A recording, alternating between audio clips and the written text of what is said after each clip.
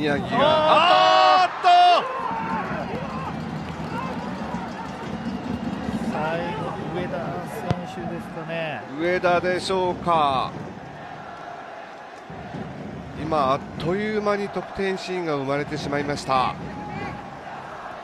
前半24分。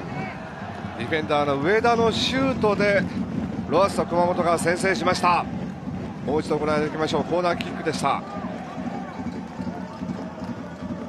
で前でね牧選手潰れ